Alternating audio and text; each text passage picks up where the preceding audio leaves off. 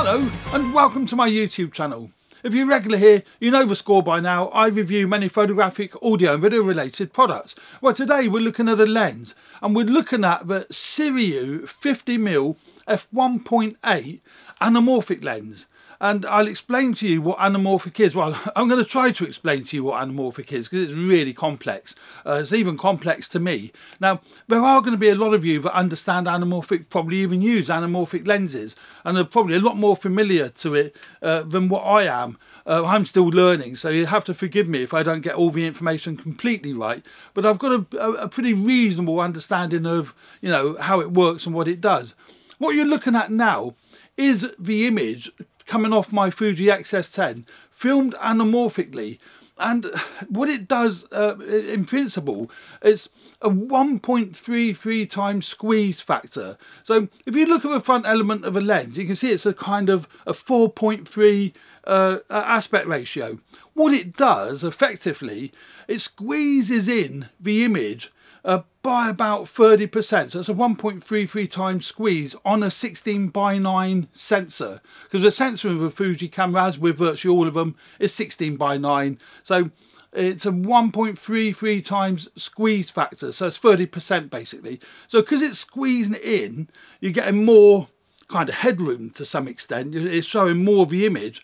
But once it's de-squeezed, you've got about 30% more image and it gives a beautiful aesthetic. Now, you can cheat a CinemaScope look by uh, putting black bars on your uh, footage, which when you look at the footage coming off my A7C, that's effectively uh, what it's done. An anamorphic lens has two characteristics that ordinary lenses don't have.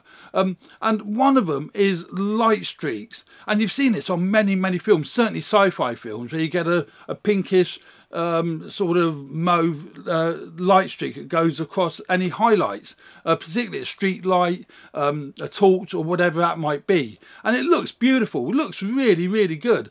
Um, and another uh, another character, character characteristic of an anamorphic lens is its bokeh. It's not circular bokeh that you would see on an aspherical lens, uh, such as on all your Canons, Sonys, Nikons, whatever.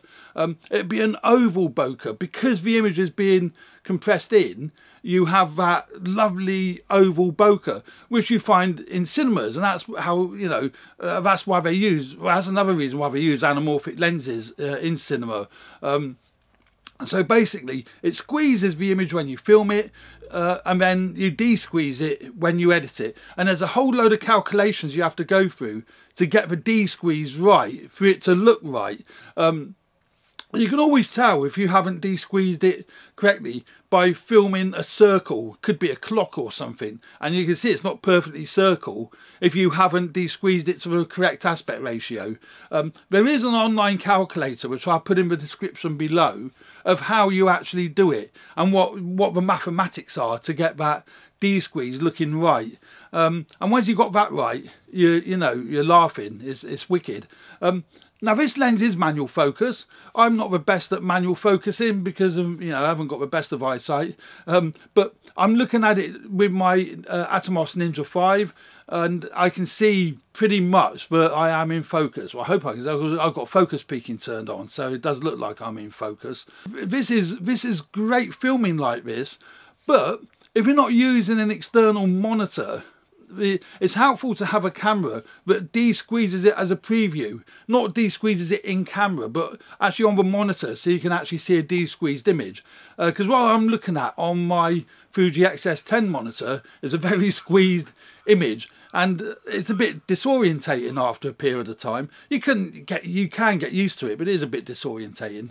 At least on my uh, Atomos Ninja 5 it's got a de-squeeze mode. So I'm actually looking at a de-squeezed image which is great. And as I look up at it I can see that um, you know I'm looking pretty normal. Well you know as normal as I can look. Um, but not essential but certainly helpful. I'm actually recording it on my Ninja 5 as well. So I've got a choice of which I use. Do I take the footage off the Fuji XS10 or do I take the footage off my Ninja 5 albeit it's a 422 10-bit signal coming out of the Fuji, so I may well use the Ninja 5 footage. it's also ProRes footage, so works great with my, uh, you know, with my Mac. So that's basically, you know, uh, basically the lens. Um, as I say, I will um, uh, put a description uh, below as to where you can buy the lens from. Uh, I actually got it off eBay, but you can get it through Amazon. There will be an Amazon affiliate link. Um, I mean, it's only worth getting, I think, if you are into or you're looking at seriously getting into cinematography. Um, I think that it's well worth it. This lens is designed for the 16 by 9 uh, cameras, such as all the ones that we all buy. Um, but what Sirui have done, I think they've done a brilliant thing here, is that they've designed a lens to cater for you know, the vast majority of cameras out there that don't have an anamorphic mode. And so that's why this is a 1.33 times crop factor. But this is the very first video I've uploaded or will be uploading in uh, 4K. Um, the very first video that I've ever done anamorphically. The sound hopefully is coming from my uh, uh, microphone, my uh, Sennheiser MKE600. That's uh, XLR microphone uh, that requires phantom power. I'm feeding it straight into my Fuji via a Saramonic um, adapter and I'll put a link to that in the description below as well. Um, that can take two microphones. I'm playing with that and all. That's a uh, should be a great piece of kit. I've got a backup with my Saramonic radio mic going into me Sony. Um, that's a backup just in case this microphone fails. You know, this video is as much as an experiment for me as it is for you guys and girls to see what this anamorphic lens can do. Now, I don't know if I can highly recommend this lens or not yet because A, I've not done enough with it um, and you know I've got to understand it more. Uh, but I just wanted to get this video out to give you my introduction to the fact that I am playing with anamorphic lenses. Uh, always wanted to, wanted to for a long time.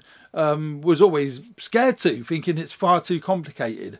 Um, but you know, it's like anything really. Once you get your head around it, and it does, it is a, a, a right um, a head mess. Um, but uh, yeah, I'm getting my head around it. So there we go.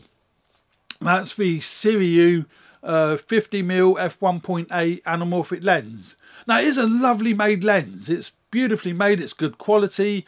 Um, I believe it's Chinese. Uh, I wouldn't complete, you know, completely swear to that. I do believe it's Chinese, but the price point uh, for an anamorph lens is phenomenal. I mean, it's 600 quid. Well, 597 quid here in the UK at this moment in time, January of 2021. And I do believe Sirui are making some other focal lengths. I believe they have already released a 35mm one and a 24mm. If I really enjoy using this, I wouldn't get the 35 because I think that's far too close to the 50. But I'd certainly be interested in the 24 mil and fit that on me Sony or vice versa. I might get the Sony E-mount version um, because I do like the widescreen sort of cinemascope look. Um, I really do like that. Uh, so there we go. It's it's all you know, uh, good experimentation. So there we go. My first 4K video to be uploaded with um, you know in widescreen format. Um, maybe I'll be able to get into making movies. oh dear, I don't think so. Um, so there we go. Thanks very much for watching. I hope you found this content useful and not too confusing because I'm still confused, but um, I'm getting there. But I hope you found it useful and hope you enjoyed looking at this, you know, CinemaScope, um, you know, the AVP Studios CinemaScope um, uh, version. Um, so there we go. Thanks very much for watching. Hope you enjoy it. Please subscribe if you haven't already done so. I really appreciate that. It helps the algorithms, the YouTube algorithms. It helps me grow the channel. And it so means so much to me. And I do work really hard on these videos. Uh, this is about the fifth attempt I've made on this one because I couldn't get my head around describing you know, how anamorphic works. Um, I'm not even sure I've, you know, successfully done that. So I, again, I've apologised before, but I apologise again. If I haven't got my head around it, don't take me as, as an example of expertise in this particular field uh, because I'm no expert in this field whatsoever. Um, so there we go. Thanks again for watching and please subscribe if you haven't already done so and hit the like button if you like the content of this video. There's more to come so stay tuned for them. Thanks very much.